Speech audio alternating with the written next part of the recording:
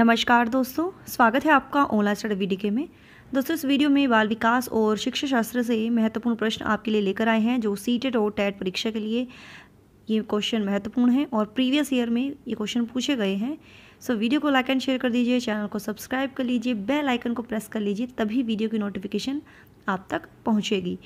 तो शुरू करते हैं। सबसे पहला जो क्वेश्चन है, वो है एक पीटी खेल शिक्षक क्रिकेट के खेल में अपने शिक्षार्थियों के क्षेत्र रक्षण को सुधारना चाहता है।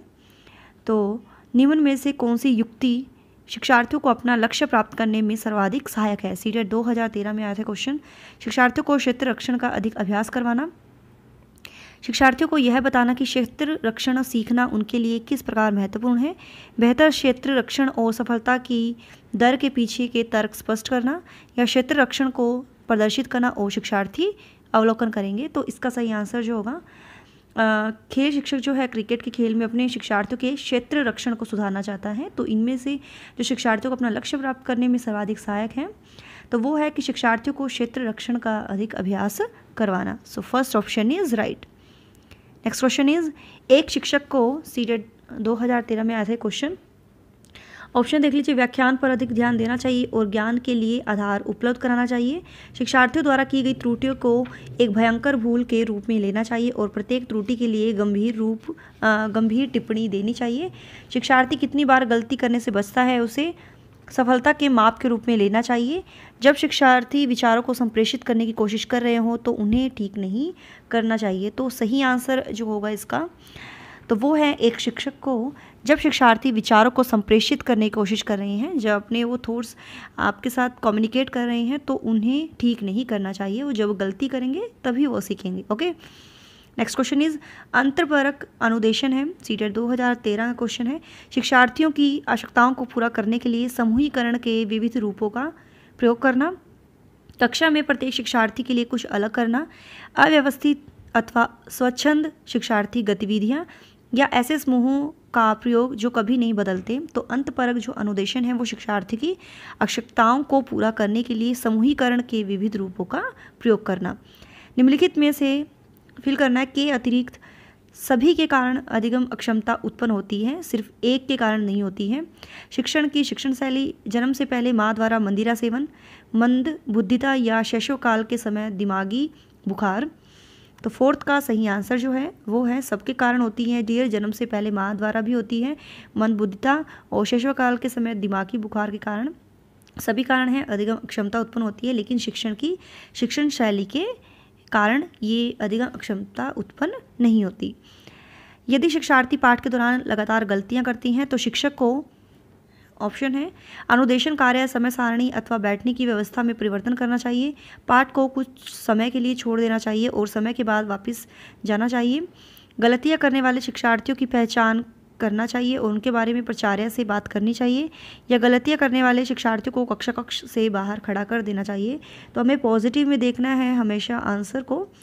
तो राइट आंसर होगा कि अनुदेशन इंस्ट्रक्शन जो होता है कार्य समय सारणी टाइम टेबल और बैठने की जो व्यवस्था होती है सीटिंग अरेंजमेंट उसमें परिवर्तन करना चाहिए। निम्नलिखित में से अंत विषय अनुदेशन का सर्वोत्का लाभ यह है कि सीटेट 2012 में आया था। सो so, सर्वोत्कृष्ट जो लाभ है बताना है विद्यार्थियों को सीखे गए ज्ञान को बहु संदर्भों में अनुपयोग अनुप्रयोग करने और सामान्यकृत करने के अवसर दिए जाते हैं। प्रकरणों की विविधता जिन्हें परंपरागत पाठ्यचर्यों से संबोधित किए जाने की आवश्यकता है, से शिक्षकों के अभिभूत होने की कम संभावना होती है। या विद्यार्थियों में विभिन्न विषय क्षेत्रों के विशेष प्रकरणों के प्रति नापसंदगी विकसित होने की कम संभावना होती है या पाठ्य योजना बनाने और गतिविधियों में शिक्षकों को अधिक लचीलापन की अनुमति होती है।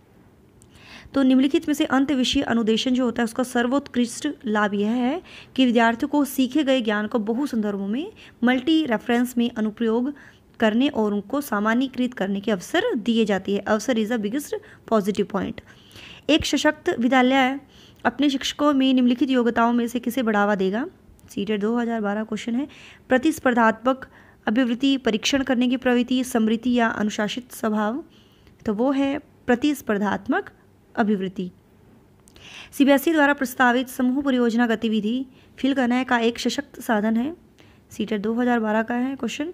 सामाजिक भागीदारिता को सुगम बनाने, शिक्षकों के भार को हल्का हल्का करने रोज़मर्रा के शिक्षण से होने वाले तनाव को दूर करने या अनेकता में एकता की संकल्पना का प्रचार प्रसार करने तो सही आंसर है सीबीएसई द्वारा प्रस्तावित समूह परियोजना गतिविधि जो है, वो सामाजिक भागीदारिता को सुगम बनाने का एक सशक्त साधन है कि बच्चे सक्रिय रूप से, सामाजिक रूप से भागीदार उसमें रहें। प्रभावी शिक्षण प्रक्रिया में सबसे महत्वपूर्ण कारक है तो इसका आंसर आपको कमेंट सेक्शन में देना है। नाइन्थ का सीटर 2012 में क्वेश्चन पूछा गया था।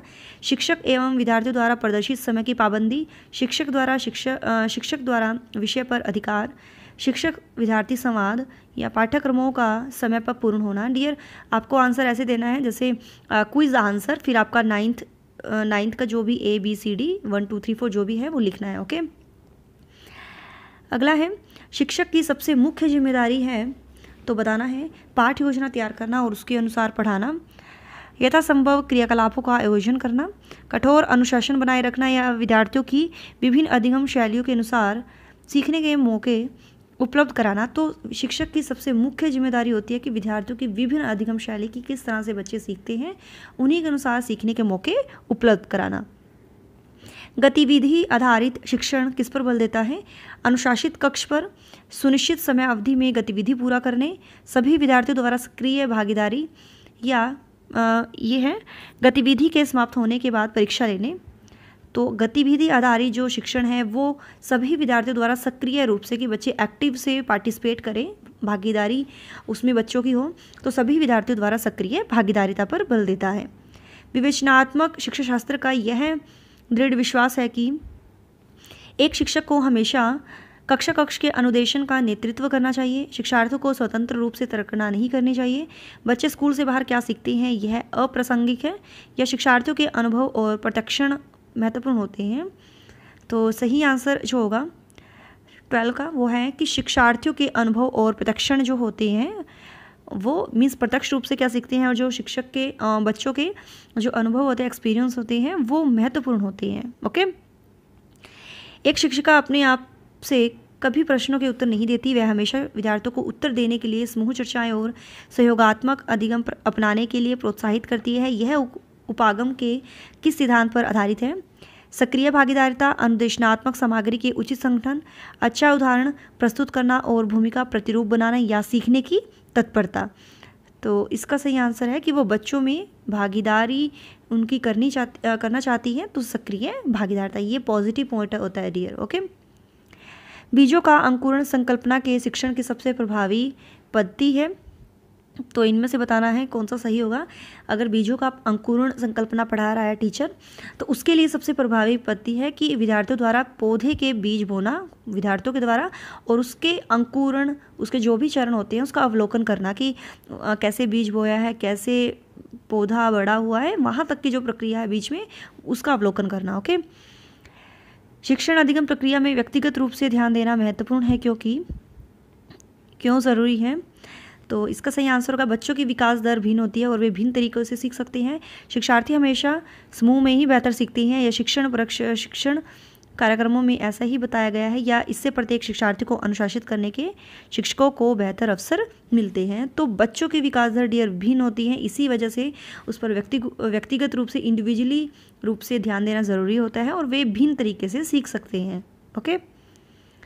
निम्नलिखित में से कौन सा समझ के लिए शिक्षण को प्रदर्शित नहीं करता? सिक्सटीन का बताना है तो डियर ऑप्शन देख लीजिए, बताना है कि जो समझ को प्रदर्शित नहीं करता तो वो है कि विद्यार्थियों को एकाकी तथ्यों और प्रक्रियाओं को याद करने के योग्य बनाना ओके तो थर्ड ऑप्शन इज़ राइट एक शिक्षक को अपने विद्यार्थियों की क्षमताओं को समझने का प्रयास करना चाहिए। निम्नलिखित में से कौन सा क्षेत्र इस उद्देश्य के साथ संबंधित है? सीटेट 2011 में आया थे क्वेश्चन तो कौन सा है? तो उसको सबसे पहले शिक्षा मनोविज्ञान का ज्ञान उसको होना चाहिए, तभी वो बच्चों की क्षमताओं क्षमताओं, रुचियों को जान सकेगा, ओके? तो fourth option is right. Next question is, प्राथमिक स्तर पर एक शिक्षक में, निम्नलिखित में से किसे सबसे महत्वपूर्ण विशेषता मानना चाहिए?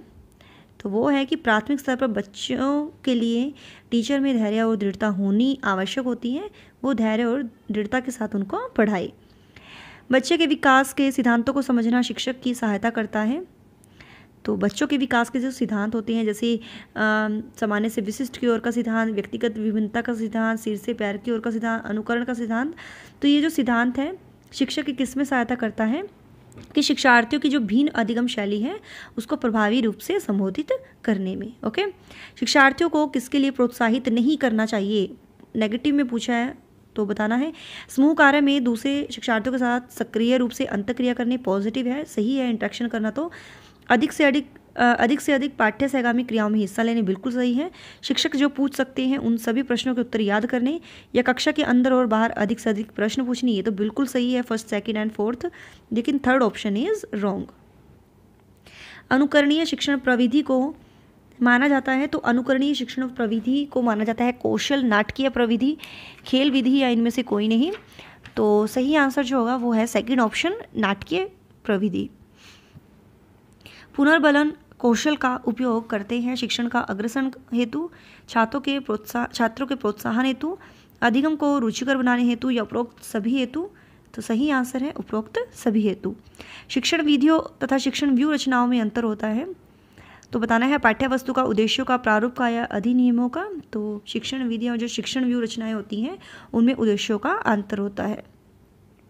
शिक्षण के क्रियात्मक उद्देश्यों को पूरा करने के लिए पाठ्यक्रम में किस पर ज़ोर दिया जाता है? तो किस पर ज़ोर दिया जाता है? तो अगर शिक्षण का जो क्रियात्मक उद्देश्य है, उसको पूरा करना है तो उसके लिए पाठ्यक्रम के क्रिया और प्रयोग पर ज़ोर दिया जाता है। एक शिक्षक को बच्चों को सिखाते समय निम्नलिखित में से किस पर ध्यान देना चाहिए? कक्षा के आकार, शिक्षण पद्धति एवं निर्देशन बालकों के वर्गीकरण पर। तो ये ऑप्शन दिए हैं। तो सभी पर ध्यान देना चाहिए कि कक्षा का आकार कैसा है, कितने बच्चे उसमें हैं और उसके अनुसार, क्योंकि शिक्षक मीन्स उस पर लगता है। ठीक है? रेशो डिवाइड होती है और आपको कमेंट्स में बतानी है कि कितने बच्चों पर कितने टीचर होने चाहिए। ठीक है? रेशो है ना? तो वो आपको बतानी है कि कितने बच्चों पर कितने टीचर ज़रूरी किए गए हैं। तो शिक्षण पद्धति एवं निर्देशन भी और बालकों के वर्गीकरण पर भी ध्यान देना चाहिए। शिक्षण अधिगम के अंतर्गत शिक्षक का प्रमुख कार्य है तो बताना है लर्निंग टीचिंग के अंतर्गत शिक्षण, शिक्षक का जो प्रमुख कार्य होता है, वो है कि बालकों को सीखने के लिए अभिप्रेरित करना, ओके? तो first option is right fill करना है यहाँ पे। डैश परिस्थितियों के अंतर्गत वे परिस्थितियाँ आती हैं जिनके द्वारा छात्र कर नवीन ज्ञान, कौशल तथा अभिवृत्ति अर्जित करता है। तो राइट आंसर है कि अधिगम परिस्थितियों के अंतर्गत वे परिस्थितियाँ आती हैं जिनके द्वारा छात्र क्या करता है? अंत क्रिया कर इंट्रैक्शन कर, नवीन ज्ञान न्यू इन्फॉर्मेशन न्यू टेक्नोलॉजी ठीक है स्किल्स अभिवृत्ति जो होती है एप्टीट्यूड वो अर्जित करता है। थर्ड ऑप्शन इज़ राइट अगला क्वेश्चन है, शिक्षण अधिगम प्रक्रिया में अधिगमकर्ता से संबंधित निम्नलिखित में से किन सिद्धांतों का पालन किया जाता है? व्यक्तिगत विभिन्नता का सिद्धांत बिल्कुल सही है। इसका पालन किया जाता है। बच्चे की व्यक्तिगत रूप से उस पर ध्यान दिया जाता है। छात्र केंद्रित चाइल्ड सेंटर भी इसको रखा जाता है पाठ्यक्रम को। और बच्चों का सक्रिय सहयोग हो, वो भी ध्यान में रखा जाता है। तो फोर्थ ऑप्शन इज़ राइट। अध्यापन का मुख्य उद्देश्य विद्यार्थियों को उचित दिशा में प्रभावित करना। अर्थात उसके के डियर यहाँ जैसे यहाँ लिखना है, ऑप्शन है यहाँ पे। फिल करना है, के यहाँ फिल करना है उचित दिशा में प्रभावित करना, अर्थात उसके फिल को ऊँचा उचित दिशा में प्रभावी बनाना होता है। तो बताना है तो अध्यापन का जो उद्देश्य होता है टीचिंग का, वो विद्यार्थियों का व्यवहार जो है, उसको उचित दिशा में प्रभावित करना, अर्थात उसके अधिगम को उचित दिशा में प्रभावी बनाना होता है, ओके? तो राइट आंसर जो है सेकंड ऑप्शन इज़ राइट तो डियर यही थे आज के question I hope you like this video if you like this video so please do like share and subscribe my channel till then bye bye रब रखा जय महाकाल जय भोलेनाथ